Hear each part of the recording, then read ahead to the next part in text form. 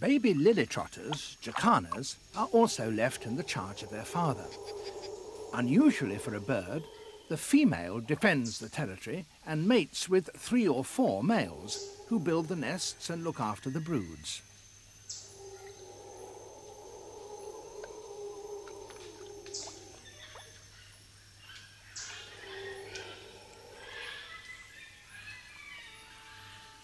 A strange female is trespassing on this breeding territory.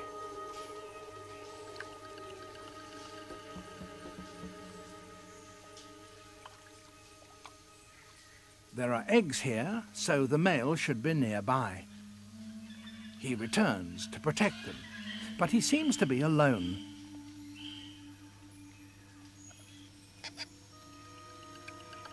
The intruder lurks in the weeds, watching him with interest.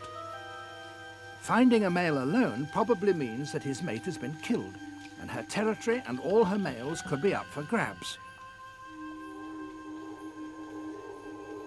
He displays aggressively towards her, trying to drive her away. But female jacanas are bigger than the males, and she is not to be deterred.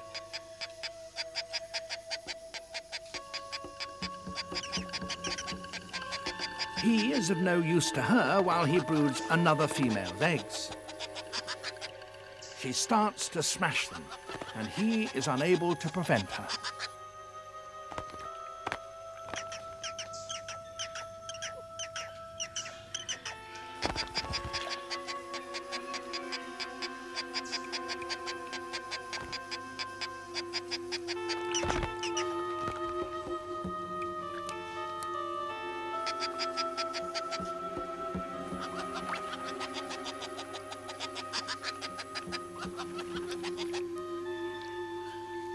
They were on the verge of hatching.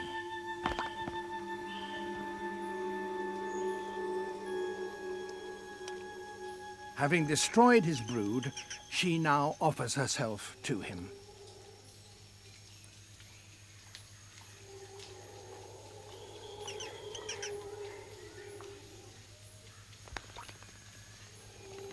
And the bereaved male mates with the murderer of his chicks. Again and again she displays and induces him to mate with her.